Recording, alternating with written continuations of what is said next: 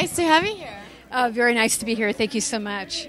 I'm here to support the talent. I live six minutes away here in Encino, so why not? Why not? Right? It's a good night. My husband, Bill Ashbrook, down Hi, from how San are you? Francisco. Very good. How are you guys doing today? Really, really good. You know, out and about and uh, supporting the talent. Uh, I always say that uh, talent is God given and it should be nurtured and respected. Yes.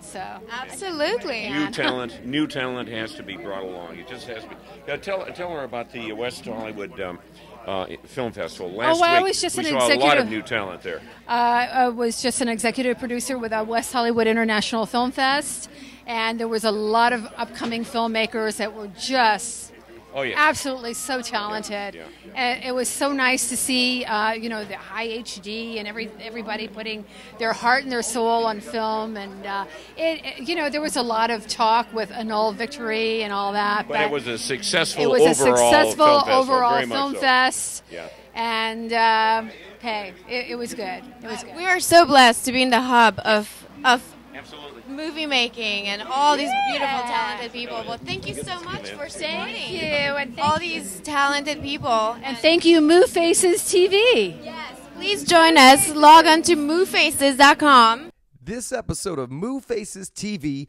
was brought to you by MoveFaces.com, where industry friends connect and stars are discovered. Join us at MoveFaces.com.